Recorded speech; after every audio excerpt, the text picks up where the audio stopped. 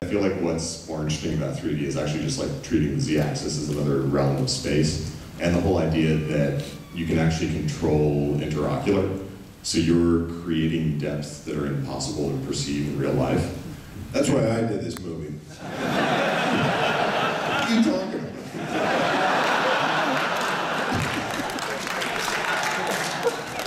That's a better answer.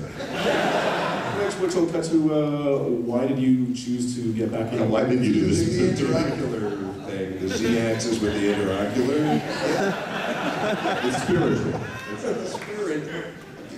God told me to fuck with interoculars for Christ. That's what I was saving the z-axis for Jesus.